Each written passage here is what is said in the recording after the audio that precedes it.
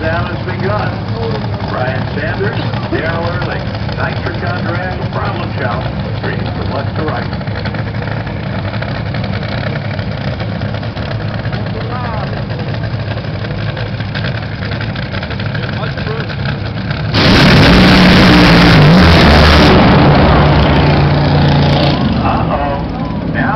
do.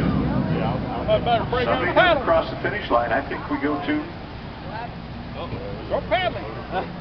I think it may be reaction time, but we're gonna see. Both boats breaking just off the starting line. They can't get out paddle. We had one year, long, probably 15 years ago, when this happened. We had to change the rule, and it was however the boat across the finish line. And we had both drivers laying out on the front of their boat, paddling with their arms. And about six minutes later, we had a winner. So we have done that now. So we are waiting to see, getting that rule book out and frantically thumbing through it. Or she's looking at it carefully. They're looking at the rule book now, see what they're gonna do.